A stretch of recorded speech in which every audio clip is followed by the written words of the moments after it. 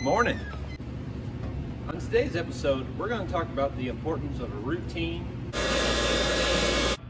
What I like about a routine is that it's something that you know you're going to expect. It's something that you can plan for. When you plan ahead, things seem to be more successful. You want to eat healthier, so you cook at home, you get it ready for the next day for your lunch. But you know what happens when you don't? You don't have that routine.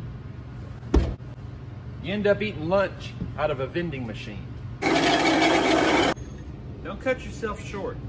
But people who are really good at something, they're really good at it because they've they've done it so many different times. Even something as simple as taking a sideboard off. Grab someone new who's never taken off a sideboard and see what happens. Versus somebody who knows what to expect out of the sideboard.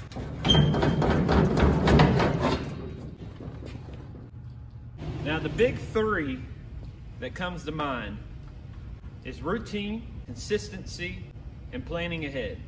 Now you can't build a house out of just grabbing blocks of wood and chopping it however you please. Now what's funny about a routine is that some days you're going to be off. But you want to find something that gives you a good level in life. Find something that's going to work each day that's going to make your day easier. The message I want to get at today, we need to develop some type of routine. Something proactive, something healthy. You'll start reaching your goals. This has been your own improvement.